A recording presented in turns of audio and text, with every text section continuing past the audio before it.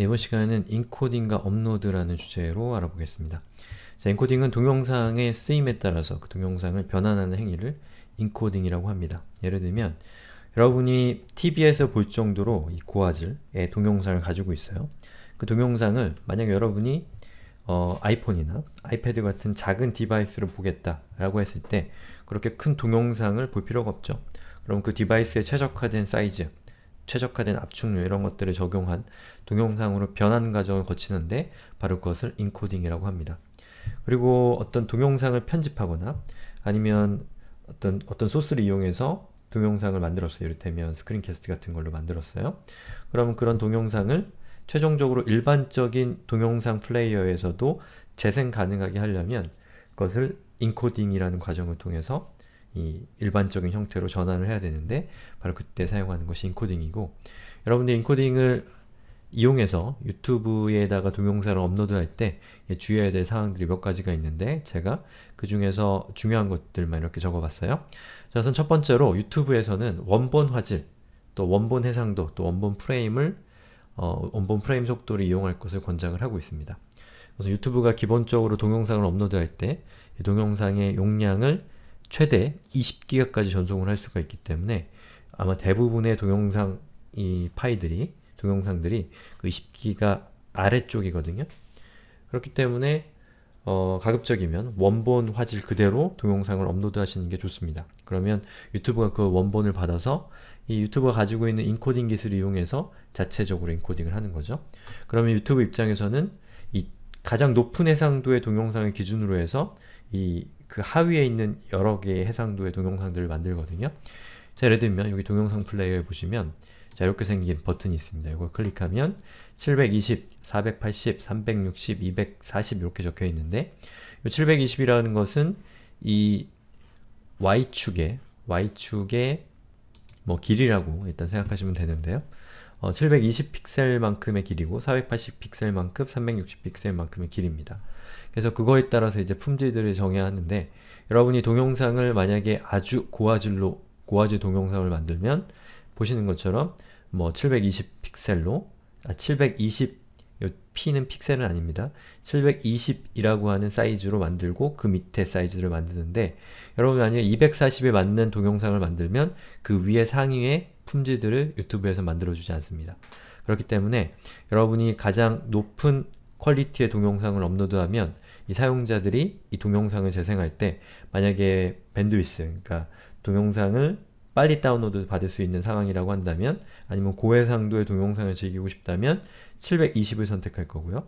아니면 좀 해상도는 떨어지지만 이 빠르게 동영상 서비스를 재생해서 보고 싶다면 240p를 선택하겠죠. 그런 선택에 여지를 줄 수 있다는 측면에서도 가급적이면 해상도가 높은 동영상을 업로드 하시는 것을 권장합니다.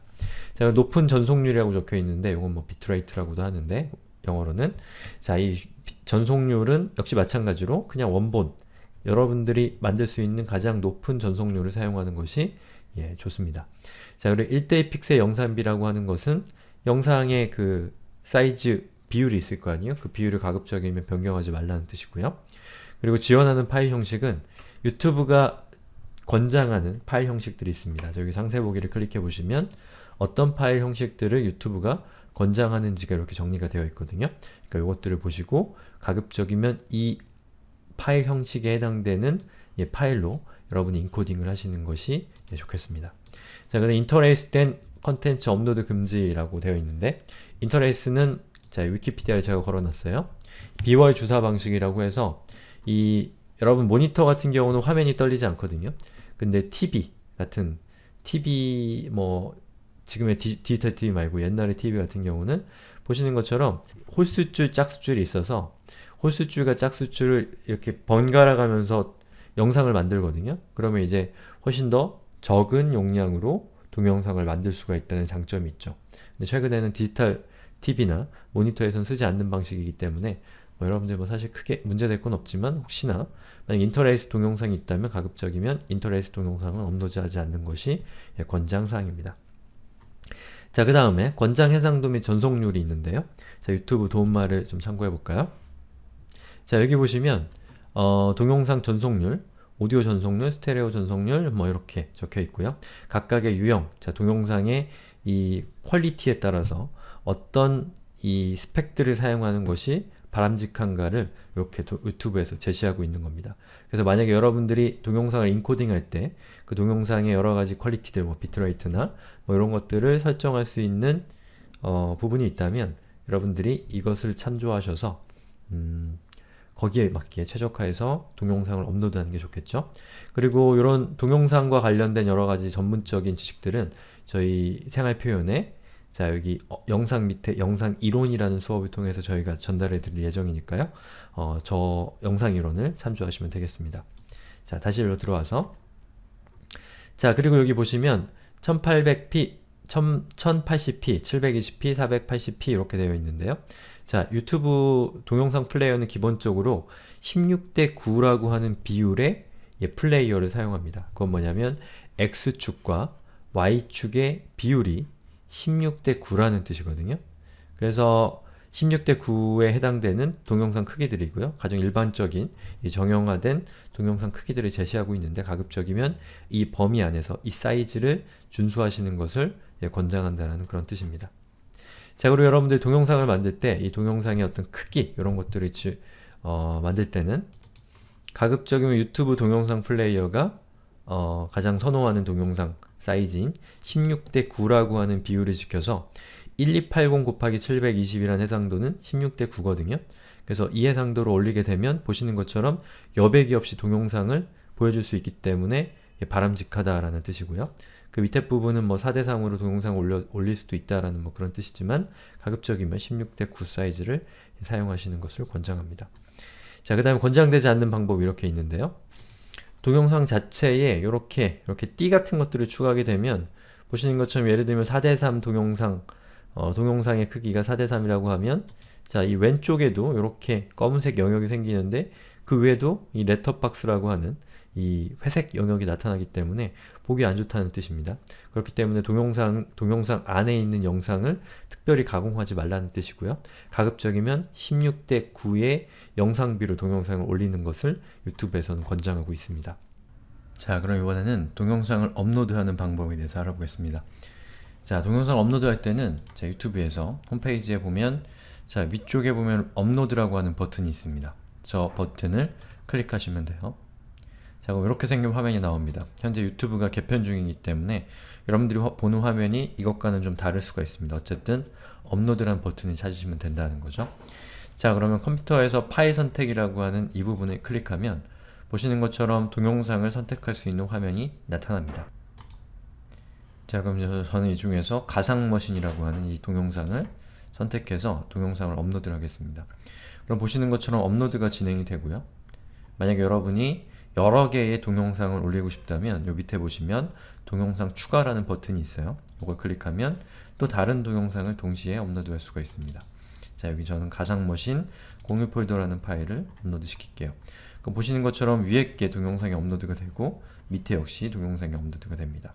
그러면서 동영상 게재 위치가 나타나는데 이, 이 URL이 이 현재 여러분이 업로드하고 있는 동영상이 위치하게 될 어, 주소가 바로 이 주소입니다. 자 그럼 여기 기본 정보를 작성하시면 되는데요. 동영상의 제목은 자 여기 여기 이렇게 작성하시면 됩니다. 가상머신이라고 적고요. 저는 설치편이라고 이렇게 하겠습니다.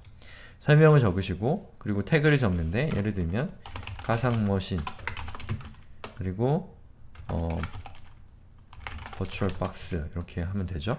근데 만약에 이 태그가 음, 두 글자 이상이라면 예를 들면 가상머신의 사용법 이렇게 문장이 들어간다고 하면 보시는 것처럼 큰 따옴표를 적어주시면 요렇게를 하나의 세트로 유튜브에서 인정을 합니다.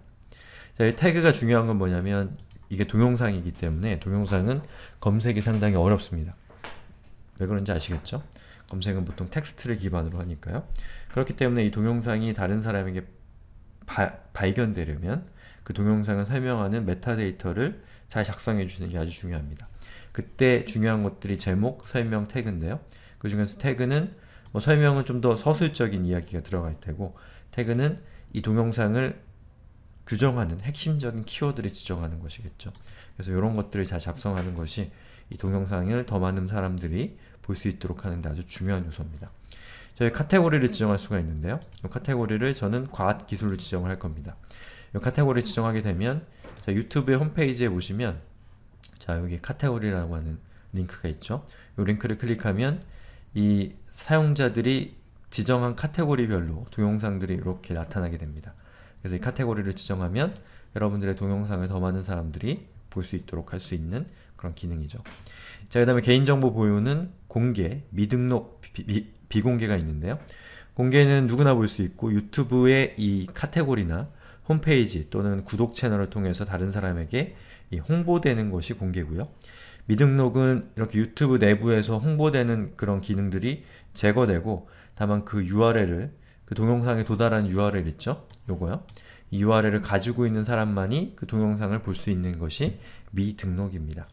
그래 비 공개는 아무도 볼 수 없는데 그 자기가 볼 수 있도록 지정한 사람들만이 볼 수 있는 게 비공개가 되는 것이죠.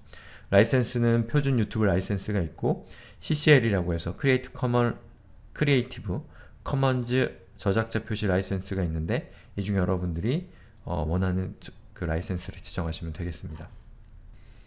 자, 동영상 업로드를 끝냈으면 여기 있는 URL을 이 주소 표시창에다가 붙여넣기 하셔도 되고요. 아니면 여기 있는 버, 보기라고 하는 버튼을 누르셔도 됩니다. 그러면 이 업로드한 동영상이 유튜브 안에서 서비스되는 페이지로 이동을 하게 되고요. 이 페이지를 통해서 사람들에게 유튜브 자, 여러분의 동영상을 어, 보여줄 수가 있는 거죠. 그 유튜브는 유튜브가 처음으로 시도했던 거기도 하죠. 자 여기 이 동영상을 여러분의 웹페이지에다가 직접 삽입할 수 있는 기능을 지원합니다. 자 여기 보시면 공유라고 되어 있는 버튼이 있어요. 이 버튼을 클릭하면 자 이런 화면이 뜨죠.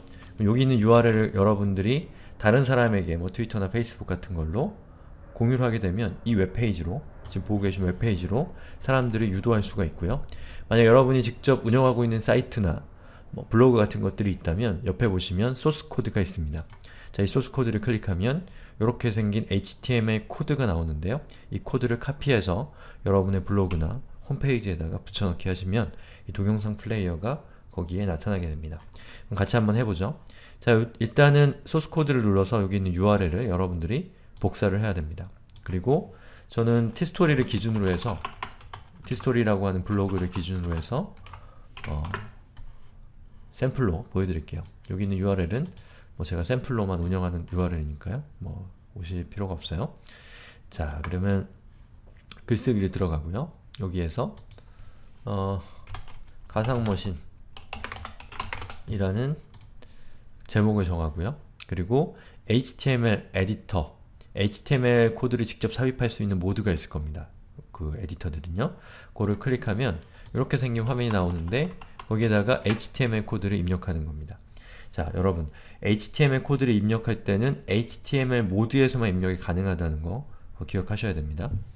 자, 그게 잘 이해가 안 가신다면 우리 이 인코딩과 업로드라는 이 페이지에 보면 동영상 삽입 밑에 생활코딩 HTML 수업을 제가 링크해 놨습니다. 요 클릭해서 들어가 보시면 iframe이라는 거의 사용법에 대해서 나와 있거든요. 지금 여러분이 등록하는 이 iframe이라고 하는 것이 바로 그 프레임입니다. HTML 중에 프레임이요. 그래서 이 수업을 보시면 프레임을 어떻게 핸들링 하는지가 자세하게 나와 있으니까요. 요거를 참조하시고 뭐 제 생각 같아서는 가, 같아서는 여러분이 온라인을 통해서 어떤 컨텐츠 행위를 하신다면 HTML, CSS 정도는 우리 생활 코딩의 수업, 수업을 통해서 공부하시는 것이 좋겠다라는 생각이 듭니다. 자 어쨌든 간에 여기 있는 요 HTML 코드를 요 티스토리의 HTML 모드에다가 제가 삽입을 했고요. 저장하기를 하고 그리고 가상머신에 해당되는 웹페이지로 이동을 해보면 보시는 것처럼 동영상이 이렇게 잘 삽입된 것을 확인할 수가 있습니다. 그런데 보시면 옆에가 조금 잘려 있어요. 잘린 것 같지 않나요? 그런 경우에는 이 동영상의 폭을 여러분이 조금 조정해 줘야 됩니다. 그럼 어떻게 하면 되냐면 다시 유튜브로 갑니다. 그리고 여기 HTML 코드 아까 copy and paste 할 때 카피했었던 HTML 코드 밑에 보시면 이렇게 사이즈를 정할 수가 있어요 여러분이 근데 만약에 직접 크기를 지, 정하고 싶다면 여기에다가 넓이를 지정하시면 됩니다 그래서 만약에 450이면 될 것 같아 그럼 450이라고 적으면 자동으로 높이 값을 계산해 줍니다. 이 동영상에. 그래서 16대 9의 비율을 현재 유지하고 있는데요. 만약에 여러분들이 여기 있는 요 width나 height 값을 직접 지정하게 되면 이 비율이 안 맞아서 여백 같은 것들이 생길 수가 있습니다. 그런 것들을 방지하기 위해서 유튜브의 요 맞춤이라는 것을 이용하면 가로폭과 세로 높이의 비율을 자동으로 조정해 주기 때문에 잘리는 일이 없습니다. 이걸 카피해서 다시 본문을 들어온 다음에 여기 있는 내용을 방금 카피한 걸로 덮어쓰기 하고요. 그리고 저장하기를 누르면 자 보시는 것처럼 동영상 플레이어가 좀 작아지면서 잘리는 부분이 없어졌죠. 이렇게 해서 동영상을 삽입하시면 됩니다.